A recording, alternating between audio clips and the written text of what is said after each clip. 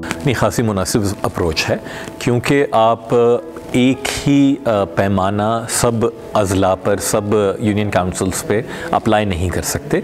पाकिस्तान में अगर बहुत ज़्यादा डिप्राइव्ड एरियाज़ हैं तो उनको ज़्यादा फोकस की ज़रूरत है, और ख़ासकर गर्ल एजुकेशन की ज़रूरत है। तो इसलिए ये बेहतर अप्रोच है। इसमें हम ये समझते हैं कि सूबाई हुकूमतों को और उनके तालीम के बजट को ज़्यादा ओपन होने की ज़रूरत है, उसको ज़्यादा क्वेश्चन करने की ज़रूरत है, ताकि वो आए और पता चले कि वो जो अपना बजट पेश कर देती हैं उसमें उन मुख्तलिफ़ इलाक़ों में, जिसके यकीन आदाद शुमार उनके पास भी होंगे।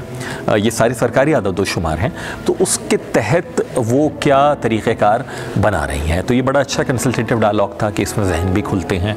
पोलिटिकल पार्टीज़ अपने मंशूर के हवाले से, अपने लेजिस्लेटर्स के हवाले से भी सोचती हैं कि उन्होंने क्या सवाल उठवाने हैं और किस तरीके से हुकूमतों से सवाल करने हैं।